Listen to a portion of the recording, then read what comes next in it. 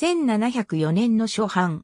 Opticks or a Treatise of the Reflections, Refractions, Inflections, Colours of Light 1730年の第4版、光学はアイザック・ニュートンの主著の一つで、光学研究の著作。1704年刊。ニュートンが1660年代から行っていた光学研究を集大成した書き物である。自然哲学の数学的諸原理がラテン語で書かれていたのに対して、この書は英語で書かれており、この書でニュートンが示した世界観は18世紀の様々な文学作品などにも影響を及ぼすことになった。またいわゆる光の粒子説でも知られる。序文の冒頭でニュートンは次のように語る。光に関する以下の議論は、一部は1675年に王立協会の書士の希望に応じて書き、やがて王立協会書記のもとに送られ、協会の会合の席上で発表されたものであり、残りの部分は12年ほど後に書き加えられたので、あった。第一編は、1672年に王立協会で読み上げられた光と色についての心理論と内容的には一致しており、そこで提唱されていることは、白色光はあらゆる色の光が混ざったものである、ということや、色彩が異なると屈折率も異なる、ということである。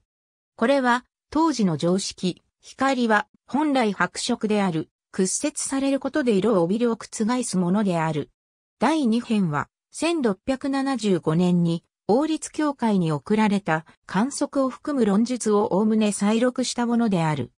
色彩現象を扱う。凸レンズを用いた巧みな実験によって膜の厚みと現れる色とが関係していることを数量的に示した。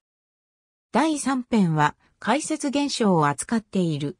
そして第3編の末尾にクイリーズという章がある。このクエリーは初版では16個であったが、番を重ねるごとにその数が増え、最終的には31個にまで増え、70ページほどにも及ぶ。1730年版のクイリーズの最初のページ第3編の末尾のクイリーズという文章群は後世まで大きな影響を及ぼしている。このクイリーズの章というのはニュートンの工学観だけでなく彼の物質観や新観までが表明されていて、彼の自然哲学の本質的なところを示しており、彼に続く者たちに探求すべき課題を提示している。20世紀に出版されたニュートン著作集の序文で、バーナード・コーエンは次のように書いた。工学の一般読者は、他の箇所よりも、最後の問いの部分をもっぱら面白がるのではないかと思う。工学は、読者をして、偉大なるニュートンを導き手として、科学の未解決の大問題の領域を旅させてくれ、自然の全世界とその創造主との関係さえ垣間見させてくれるのである。ニュートンは1669年にケンブリッジ大学のルーカス教授職について、ここで工学の講義を行っていた時期があったわけで、あるが、それによって、この著作刊行前からニュートンの工学理論は人に知られていたらしい。ジョン・ロックの人間知性論の1672年の走行など確認するとわかるという。ABCDEFGH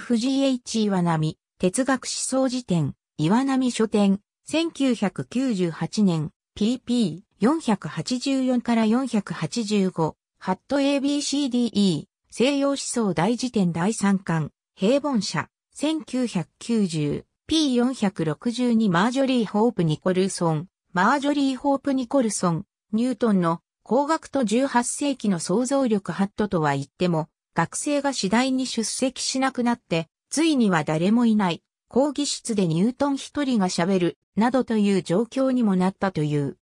佐藤光彦、ガリレオの給食活動ニュートンの家計簿、科学者たちの生活と仕事、中高新書アプテックスの無料オンライン版アプテックスの走行を含むニュートンの趣向。ありがとうございます。